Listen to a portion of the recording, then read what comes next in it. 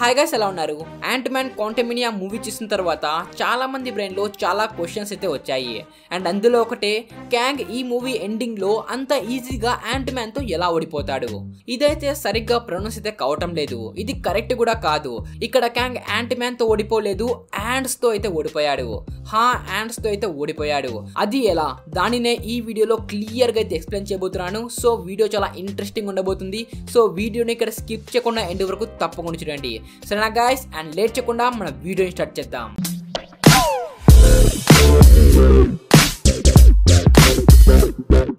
First అయితే మీకు ఈ మూవీలో ఉన్న ఒక సీన్ అయితే గుర్తుకు చేస్తాను ఆ సీన్లో మన క్యాంగ్ అయితే అంటాడు కదా నేను అవెంజర్స్ని చాలా సార్లే చంపేశాను అని అండ్ అందులో థార్ కూడా ఉన్నాడు అని. అవెంజర్స్ని చంపిన వాడు ఎంత స్ట్రాంగ్గా ఉంటాడో మనందరికీ తెలుసు.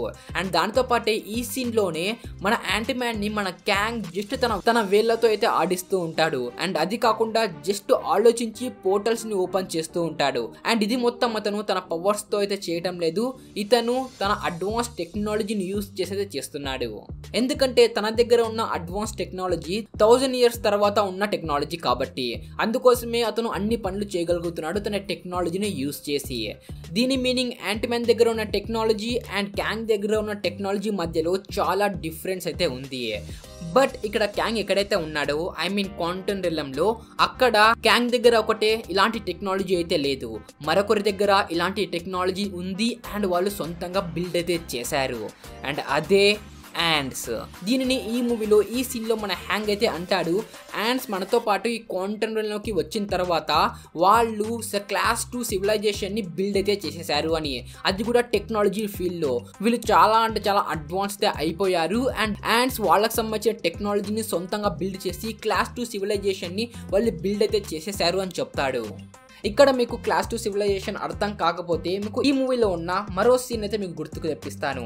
అదే అర్త్ మన యాంటీమ్యాన్ ఫ్యామిలీ అందరూ అర్త్ మీద ఉన్నప్పుడు హ్యాంగ్ ఇదైతే చెప్తాడు కదా నా యాండ్స్ యాండ్స్ కోసమే తన సొంతంగా టెక్నాలజీని డెవలప్ చేస్తున్నాయి అని. దీని మీనింగ్ ఈ యాండ్స్ కాంటెంట్లోకి రాక ముందే మిగతా యాండ్స్ కన్నా ఇవి చాలా ఇంటెలిజెంట్గా అయితే ఉన్నాయి. బట్ ఎలాగైతే ఈ కాంటెంట్లోకి ఈ యాండ్స్ వచ్చాయో ఈ యాండ్స్ మన యాంట్మెన్ ఫ్యామిలీ పడిన ప్లేస్లో అయితే పడలేదు. బట్ ఇవి కాంటినెంట్లోనే వేరే ప్లేస్లో అయితే పడ్డాయి. బట్ ఆ ప్లేస్కి ఈ ప్లేస్కి ఏం తేడా అంటే మన యాంట్మెన్ పడిన ప్లేస్లో టైం అనేది సేమ్ టు సేమ్ అర్త్లో ఎలాగైతే గడుస్తుందో సేమ్ ఆ టైం అక్కడైతే గడుస్తుంది. బట్ మన యాండ్స్ ఎక్కడైతే ఏ ప్లేస్లో అయితే పడ్డాయో ఆ ప్లేస్లో టైం అనేది చాలా అంటే చాలా స్పీడ్గా అయితే నడుస్తుంది. దట్ మీన్స్ మన యాంట్మెన్ ఇక్కడ ఈ కాంటినెంట్లో కేవలం ఒక రోజు గడిపితే ఆ యాండ్స్ చాలానే మిలియన్స్ ఆఫ్ ఇయర్స్ అనేవి గడిపేశారు. అందుకోసమే ఈ యాండ్స్ హై టెక్నాలజీని అయితే డెవలప్ అయితే చేశారు. అండ్ ఇక్కడ మీకు మరో డౌట్స్ వస్తూ ఉండవచ్చు. మిలియన్స్ ఆఫ్ ఇయర్స్ వీళ్ళు ఇక్కడ జీవించారు కదా ఈ యాన్స్ అలాగైతే ఈ యాన్స్ చనిపోయి ఉండవా అని.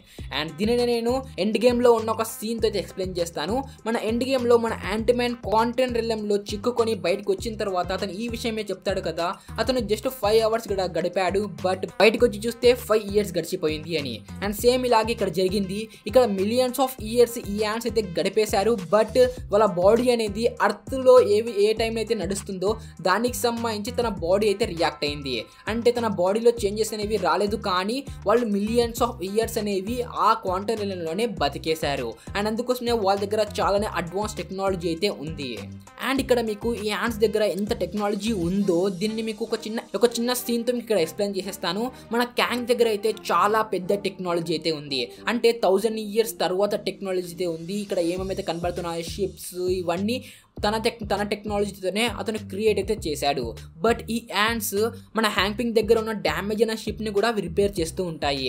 అండ్ దీంతోనే మీకు అర్థమైపోతుంది ఈ యాండ్స్ అయితే మన క్యాంగ్ దగ్గర ఉన్న టెక్నాలజీ దగ్గర దగ్గరగా వీళ్ళు డెవలప్ చేసేసారు అని. ఇక్కడ నేను ఇది మొత్తం ఎక్స్ప్లెయిన్ చేసి మీకు ఇక్కడ ఏం ఎక్స్ప్లెయిన్ చేయాలి అనుకుంటున్నాను అంటే ఇక్కడ యాండ్స్ ఇంత అడ్వాన్స్ టెక్నాలజీ బిల్డ్ చేశారు కాబట్టే ఇక్కడ మన క్యాంగ్ సూట్ని అవి డ్యామేజ్ చేయగలిగాయి. అండ్ డ్యామేజ్ అయింది కాబట్టే ఈ మూవీ లాస్ట్లో మన యాంట్మెన్తో ఫైట్ చేయడానికి తన సూట్ని ని యూస్ చేయకుండా అతను తన హ్యాండ్ టు హ్యాండ్ కాంబ్యాక్తో అయితే యూస్ చేశాడు. అందులో కూడా మన యాంటీమెన్కి చాలా దెబ్బలు అయితే తగిలాయి. అండ్ దాంతో పాటే మన క్యాంగ్ హ్యాండ్ టు హ్యాండ్ కాంబ్యాక్లో కూడా చాలా బెటర్గా పర్ఫామ్ అవుతుందని మనకి ఈ విషయం కూడా తెలిసింది. బట్ ఈ మూవీ స్టార్టింగ్లో మన క్యాంగ్ అయితే అన్నాడు కదా అవెంజర్స్ అందరినీ తిని చంపేశాను అని. అది తన దగ్గర ఉన్న అడ్వాన్స్ టెక్నాలజీని అడ్వాన్స్ సూట్ని యూస్ చేస్తే పాసిబుల్ అయ్యింది. అండ్ తన సూట్ ఇక్కడ డ్యామేజ్ అయింది కాబట్టి అండ్ అందుకోసమే అతను హ్యాండ్ టు హ్యాండ్ కాంబ్యాక్లోకి దిగాడు. బట్ టూ వర్సెస్ వన్ ఫైట్లో మన క్యాంగే ఓడిపోయాడు.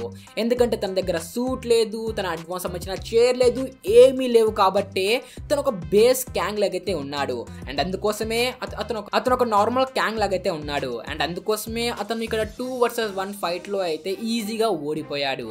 దీన్ని మీరు ఇంకా సింపుల్గా అర్థం చేసుకోవాలి అనుకుంటే మన ఐరన్ మ్యాన్ అయితే ఫైట్ అయితే చేస్తున్నాడు. అది కూడా ఎలాంటి ఆర్క్ రియాక్టర్ లేకుండా ప్లస్ తన ఐరన్ మ్యాన్ సూట్ లేకుండా. అండ్ సేమ్ అలాగే ఇక్కడ క్యాంగ్ అయితే ఉన్నాడు. ఈ టాపిక్ మీద కామెంట్లో చాలా మంది అయితే అడిగారు. సో ఓన్లీ నేను ఈ వీడియో చేసి మీ డౌట్స్ అన్ని క్లారిఫై అయితే చేస్తున్నాను. బట్ ఇక్కడ నేను ఇంకో చిన్న డౌట్ని మీకు ఇక్కడ యాడ్ చేస్తే మీకు ఎలా ఉంటుంది? ఇక్కడ క్యాంగ్ అయితే చనిపోలేదు. ఇతను మన ఈహు రిమాన్స్ ప్లేస్ దగ్గరికి అయితే వెళ్ళిపోయాడు. అంటే ఇక్కడ నేను ఏం చెప్తున్నాను అంటే మన ఈహు రిమాన్స్ ప్లస్ ఈ క్యాంగ్ ఇద్దరు కూడా ఒకటే అని. హా ఫ్యూజెస్ ఎగిరిపోయాయి కదా. నేను దీనికి సంబంధించి మరో వీడియో టుమారో అయితే అప్లోడ్ చేయబోతున్నాను. సో ఆ వీడియో కోసం తప్పకుండా వెయిట్ చేయండి. సో నా గాయస్ అండ్ ఈ వీడియో ఎక్కడితే ఎండ్ అవుతుంది మీకు ఈ వీడియో అలా అనిపించింది కామెంట్లో తప్పకుండా చేయండి. అలాగే ఎక్కడి నుంచి మన ఛానల్ ఫస్ట్ టైం విజిట్ చేయండి ఏమంటే సబ్స్క్రైబ్ చేసుకుని పక్కన బెల్ తప్పకుండా చేసుకోండి. అండ్ అలాగే మన సోషల్ మీడియా హ్యాండిల్స్ వాటి లింక్స్ డిస్క్రిప్షన్లో ఉంటే అక్కడ వెళ్ళి తప్పకుండా ఫాలో కండి అండ్ సబ్స్క్రైబ్ చేసుకోండి. సో నా గాయస్ ఇంకా కలుద్దాం మరో ఇంట్రెస్టింగ్ వీడియోలో అంతవరకు బాయ్